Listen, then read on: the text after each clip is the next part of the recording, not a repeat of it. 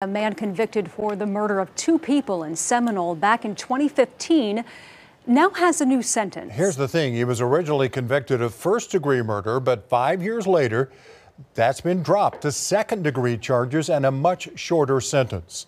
News 4's Hunter Elise joins us live now. And Hunter, why did the sentence change? The new sentence is due to the McGirt case from three years ago, causing changes to crimes by natives on tribal land. In Cadrick Grayson's case, his first degree murder charge was tossed out in 2021. Mr. Grayson's conviction and reversal was important because his case was the one that determined that the reservation had been reestablished at the Seminole Nation.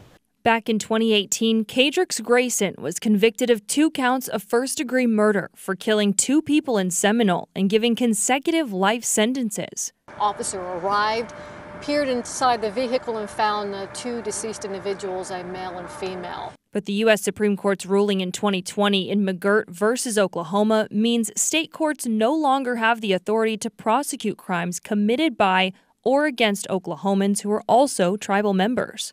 And depending on the offense, such as a misdemeanor, uh, if they commit a misdemeanor, it would go into tribal court at the Seminole Nation.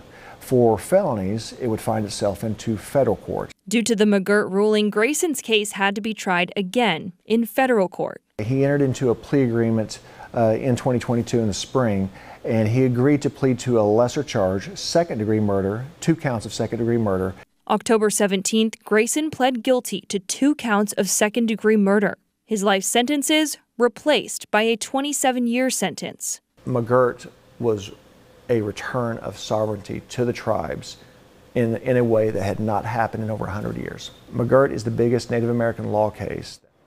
And Gifford says this is just one of many cases that will need to be retried or resentenced because of the McGirt change.